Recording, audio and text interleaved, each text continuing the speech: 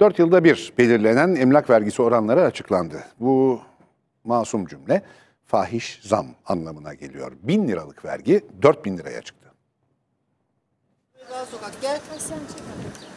E, evim var, derdim var. E, hiç olmasa daha iyi. Ödeyeceği vergiyi öğrenince şaşkına döndü. Hesap yaptı, işin içinden çıkamadı. E, bir kira alıyoruz, dört tane kira senede vergi ödüyoruz. Adaletsiz. E, neredeyse evi vereceğiz. 3 bin lira bir kira alıyorsan 3200 gibi ödüyorsun. E, şimdi 6-7 bin liranın üstünde, 8 bin liranın üstünde. 1750 civarında veriyorduk. Şimdi 3000 küsür dedi. 3000.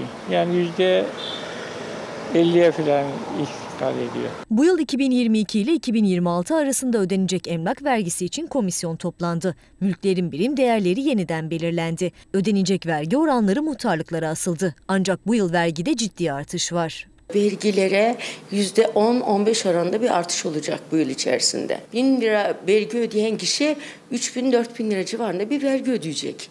Son dönem artışlarına göre. Emlak vergisi mülkün metrekaresine bulunduğu bölgeye sitede olup olmadığına göre değişkenlik gösteriyor. Ancak bu yılki emlak vergisinde fahiş artış var. Bu nedenle vatandaş yüksek gelen vergiler için şimdiden itiraz etmeye hazırlanıyor. Biraz gerekli şey müracaatı yapacağız. Başvuracağız yani gerekli müracaatı yapacağız. Bir bakacağım. Bakacağız.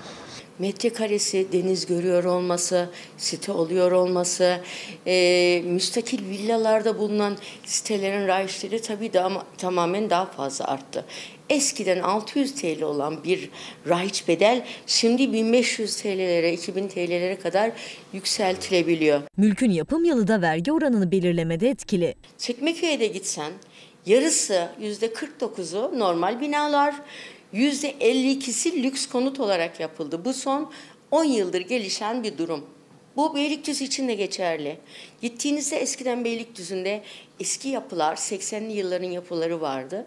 Ama şu an için 2000 yıl sonrası yapımlar daha çoğaldığı için vergi düzeyleri de yapım yıllarına göre artıyor. Bu artış sonucunda da insanlar 1000 liraysa o bölgelerde 1500 lira ödeyecekler, 2000 lira ödeyecekler. Ama lüks konutların olduğu semtlerde durum daha farklı. Beşiktaş, Şantaşı, efendim Etiler, e, Beykoz'un bir bölümü ve bu tür yerlerde neredeyse iki katına çıkacak.